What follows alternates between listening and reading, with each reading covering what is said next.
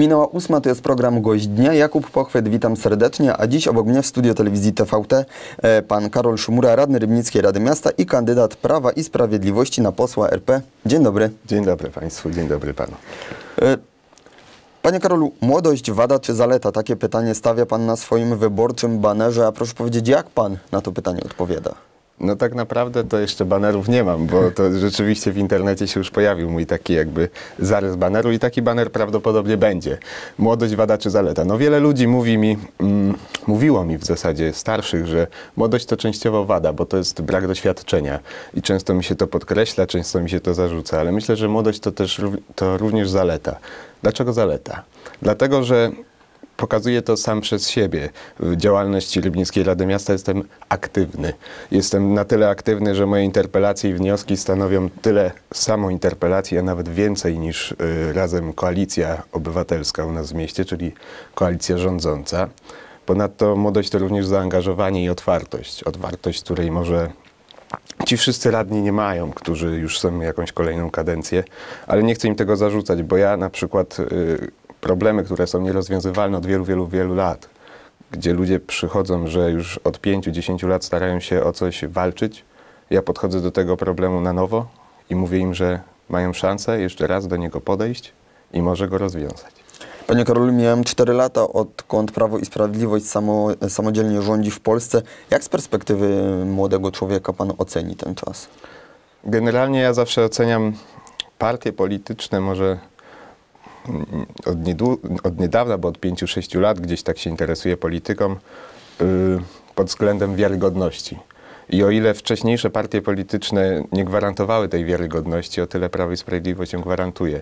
Przede wszystkim oceniam ją dobrze ze względu na programy so, socjalne, teraz to się tak mówi, ale programy, to są programy prorodzinne, prospołeczne, gdzie teraz y, ludzie nie zarabiają 5 zł na godzinę, tylko zarabiają 14,70, gdzie można, gdzie poprawia nam się po prostu jakby byt, byt tej klasy najuboższej. Y, zresztą nawet y, wskaźnik ubogości się dość znacznie poprawił od 4 lat. Proszę wyjaśnić, dlaczego tą swoją karierę samorządową, polityczną związał pan akurat e, z partią Prawo i Sprawiedliwość? Pamiętam, jak miałem 17 lat, przyszedłem do, na pierwsze spotkanie Prawa i Sprawiedliwości. Znaczy już wcześniej śledziłem to wszystko w telewizji. Dlaczego tak związałem się z tą partią? No, przede wszystkim dlatego, że widziałem, co robi partia wówczas rządząca. Mianowicie, no, jakby mówiła jedno, a robiła drugie. Zasadniczo, no, jeżeli się coś obiecuje, to powinno się przynajmniej chociaż częściowo być konsekwentnym w, ty, w tych wyzwaniach, a nie jakby robić na odwrót, czyli mówimy, że będziemy obniżać podatki, podwyższamy podatek VAT, tak? E, No wtedy poszedłem do partii Prawo i Sprawiedliwość, no bo generalnie tam moje poglądy są raczej konserwatywne, byłem, e, jestem wierzącym człowiekiem i tak dalej, w związku z czym no e, przede wszystkim ta idea, ta ideologia mnie tym przekonała, a teraz mogę powiedzieć z czystym sumieniem, że jest to partia wiarygodna i jeżeli coś mówi, to to robi. I dla mnie to jest bardzo ważne. A jak pan zareagował na propozycję startu w wyborach? Na początku zareagowałem tak jak właśnie dlatego, z tego względu też wzięła się, wzięło się to hasło wada czy zaleta, bo na początku zareagowałem trochę negatywnie, no bo stwierdziłem sam, no nie mam doświadczenia, ciągle mi to powtarzają, ale z drugiej strony pan Bolesław Piecha, czyli e, aktualny pełnomocnik okręgów Prawa i, Spra- Prawa i Sprawiedliwości powiedział mi, że Trzeba młodych ludzi, trzeba ludzi, którzy y, będą już zdobywać to doświadczenie, gdzie będą zastępować tych ludzi, którzy są doświadczeni. Bo pomimo tego, że ja dzisiaj nie mam jakichś znajomości, nie mam y, obycia w tym świecie warszawskim, tak, no to myślę, że myślę, że trzeba się tego nauczyć i myślę, y, że, że, że ten start, do tego startu również przekonali mnie przede wszystkim, y, przede wszystkim przekonały mnie osoby z mojego otoczenia, które również mi powiedziały, żebym startował, no bo y, jeżeli nie teraz, no to później kolejne 4 lata, kolejne 4 lata i będziemy to tak odkładać, odkładać, odkładać. Jeżeli się nie uda, okej, ale może się uda za 4 lata, tak? Mhm. Nie ma pan e, obycia i doświadczenia w świecie warszawskim, tak jak pan to przed Tak, chwilą tak, powiedział, E, ale ma pan już spore doświadczenie, jeśli chodzi o pracę w samorządzie i chciałbym, żeby pan teraz o tej swojej pracy w samorządzie opowiedział. No tak jak już w sumie wcześniej wspomniałem, jestem chyba najaktywniejszym radnym, ale pod względem interpelacji i wniosków y, do, do, do pana prezydenta. Bo moim zdaniem zadanie radnego to zadanie przede wszystkim wskazywania w którym kierunku ma podążać miasto i jakie są problemy mieszkańców. Jeżdżę teraz po radach dzielnic. W sumie jeżdżę od samego początku kadencji i myślę, że odwiedziłem już większość rad dzielnic. I tam są takie problemy naprawdę błahe, naprawdę błahe, czyli na zasadzie gdzieś jest potrzebna lampa, gdzieś jest na, potrzebna naprawa trochę chodnika, trochę drogi i tak dalej. I to są problemy, które dotyczą stricte tych pojedynczych mieszkańców. Ale zajmuję się również problemami ogólno, ogólnomiejskimi, czyli na przykład tak jak te y, wczorajsza sprawa, czy przedwczorajsza sprawa odpadów zielonych, tak? Bo to dotyka również pojedynczego mieszkańca i jego portfela. Mhm. E, Panie Karolu, a gdyby udało się zrobić ten krok e, naprzód i dostać do e, polskiego parlamentu, czym konkretnie Pan chciałby się tam w Sejmie zajmować, albo inaczej rzecz biorąc, e, z jakich dziedzin Pan się czuje mocny? Na pewno chciałbym się zajmować tym, co tutaj dla naszego regionu, dla Śląska jest bardzo ważne, a mianowicie polityką energetyczną. Ponieważ, no, jak sami wiemy, to Unia Europejska w prawie każdym dokumencie mówi o dekarbonizacji i odchodzeniu od węgla, a przecież nasz region stoi praktycznie na węglu, tak? bo mamy wiele kopalni i, i mamy elektrownie, chociażby Rybnik czy Łaziska. E, Pewnie chciałbym się zająć polityką prospołeczną, no bo gdzieś pra, Prawo i Sprawiedliwość od czterech lat już ro, rozwija tą politykę. Rozwija, e, zresztą w mieście również e, jestem w Komisji e, Zdrowia i Pomocy Społecznej. A zresztą też często podkreślam na sesjach Rady Miasta, że walczę o godność człowieka, a nie o jego komfort. Pana zdaniem, jakie są największe zalety programu wyborczego Prawa i Sprawiedliwości? On tak e, mieszkańcom naszego kraju jest e, dawkowany po trochu, ale już wiele można z tego, z tego wyciągnąć. E, Jak Pan ten program oceni? Mhm. Oceniam go dobrze, dlatego że jest, tak jak powiedziałem, prorodzinny i prospołeczny. Nie mówi się zbyt dużo, mówi się często o 500, jest to program prorodzinny i bardzo dobrze, ale nie mówi się tak dużo o, o stawce godzinowej. Kiedyś ludzie pracowali za 5 zł za godzinę, dzisiaj pracują za 14,70 i jeżeli bym powiedział panu, że pan przychodzi po dniówce i zarabia pan 40 zł, no byłby pan stanowczo niezadowolony, się domyślam, i nic by dzisiaj pan za to nie kupił, prawda? To są te dwa programy, które są ważne. Dzisiaj na przykład jestem zadowolony, bo mogę skorzystać w końcu z jednego z programów Prawa i Sprawiedliwości, a jest to PIT dla młodych do 26 roku życia. I to jest tak jakby 13 pensja dla młodego człowieka, tak? Y, Jest szereg takich programów, które naprawdę Prawo i Sprawiedliwość realizuje konsekwentnie, stopniowo, tak jak pan powiedział, ale wiarygodnie i to jest najważniejsze. Na pewno Pan słyszał, że w mediach w ostatnim czasie bardzo dużo informacji pojawia się na temat tego, że aby mieć pieniądze na te wszystkie programy prospołeczne, po raz kolejny drenowane będą portfele e, przedsiębiorców. E, Jak się Pan do tego tematu odniesie? Uważa Pan, że rzeczywiście przedsiębiorcy to jest ta e, taka grupa mocno poszkodowana zarządów Prawa i Sprawiedliwości? Powiedziałbym tak, sam nie jestem przedsiębiorcą, więc ciężko mi do końca to oceniać, ale zapytałbym na odwrót, ilu przedsiębiorców y, upadło, bo nie widzę setek tysięcy, milionów przedsiębiorstw, które upadły. Mm, nie jestem za tym, żeby rozwój przedsiębiorstw był kosztem zwykłego człowieka. Nie jestem za tym, żeby teraz przedsiębiorcy płacili po 8 zł za godzinę, czyli sto, stopniała stawka minimalna, żeby y, płaca minimalna nie rosła w górę, tak? bo, bo, bo, bo to na pewno by przyniosło korzyść przedsiębiorcom. Trzeba patrzeć y, zrównoważenie, trzeba wspierać tych małych i średnie, małe, mikro i średnie przedsiębiorstwa, ponieważ to chyba one mogą być, jeżeli już najbardziej poszkodowane trzeba wspierać je na zasadzie innowacyjności między innymi.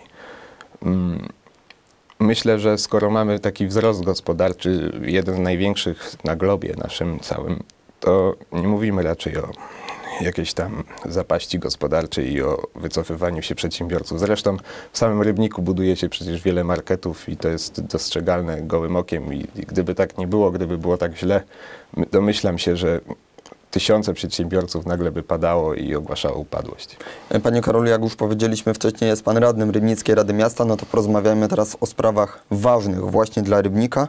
E, Przed kilkoma dniami Pan już o tym wspomniał. E, Wraz z innymi radnymi PiSu zaproponowali Państwo, aby w Rybniku e, worki na odpady zielone zastąpić specjalnymi kubłami. Proszę ten temat rozwinąć. Tak, tak, zaproponowaliśmy to rozwiązanie, bo wydaje nam się, że to jest rozwiązanie ekologiczne, ekonomiczne, no i zwalczające odór w południowych częściach miasta, czyli dla prawie już jednej trzeciej mieszkańców miasta, bo ten odór się ciągle rozprzestrzenia. Mm, Jest to rozwiązanie, które dzisiaj mamy tak, mamy worki, które, w których trawa się, tak, że tak powiem, kisi, potem te worki są transportowane do jednej firmy, rozrywane, przewożone do drugiej firmy, wszędzie jest odór. Y, Często mieszkańcy Boguszowic, Gotartowic i tak dalej skarżą się na ten odór. A gdyby były kosze, wtedy jakby ta trawa się nie kisi, tylko suszy. To jest po pierwsze. Y, Trawa trafia od razu bezpośrednio do jednego składowiska. No i co, co, co to znaczy w ogóle? To znaczy to tyle, że miasto zaoszczędzi na takiej jednej tonie takiej trawy, na rozrywaniu tych worków, 100 zł, czyli 100 zł na jednej tonie, tak? Za te 100 zł myślę, że to, to idzie już w dziesiątkach to, tysięcy ton.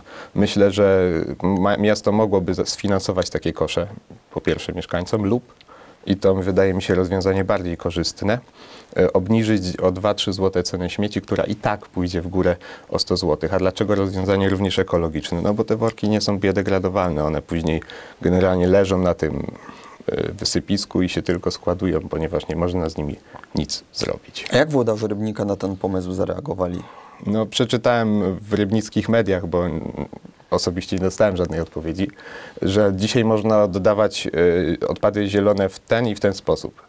No ja się czuję trochę jak w Matrixie, tak? bo prezydent z jednej strony mówi, że y, jest taki proekologiczny, jeżeli chodzi o działania rządu i żąda od, od właśnie rządu Prawa i Sprawiedliwości, żeby wprowadzał nowe sankcje, nowe przepisy i karał ludzi a z drugiej strony nie chcę sprowadzić takich prostych zmian w mieście. Tak? Mam nadzieję, że za rok, y, że tak powiem, wyjdzie sam z tą inicjatywą i zmieni formę przetargu na tą, na tą, by właśnie składować te odpady w koszach, a nie w workach. Jakimi jeszcze innymi ważnymi sprawami dla Rybnika obecnie e, zajmuje się Pan i cały klub Prawa i Sprawiedliwości?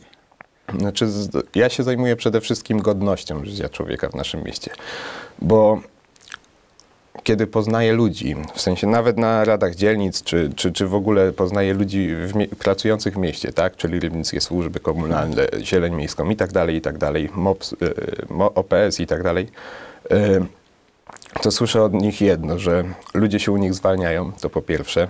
Po drugie, widać, widać to zresztą po tym, jak RSK pracuje. Czasem niektóre prace są już po kilka miesięcy podkładane. Po drugie, ja się tym ludziom w ogóle nie dziwię, bo jeżeli ktoś zarabia najniższą krajową ciągle i ciągle jest mu tylko wyrównywana pensja, bo tak trzeba powiedzieć, y, no to ten człowiek jest zniechęcony do tej pracy, tak? I przede wszystkim godność. Po drugie, no to teraz zajmuję się sprawami dzielnic, bo to myślę, że te dzielnice, ci konkretni ludzie potrafią mi powiedzieć, co w ich dzielnicy, co na konkretnej ulicy jest źle zrobione i co trzeba naprawiać.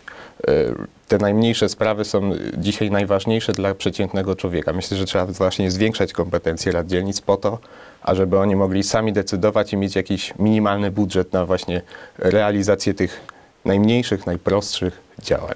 Czy Pan uważa, że peryferyjne e, dzielnice Rybnika są gorzej traktowane niż centrum miasta? I czy powinno się to zmienić?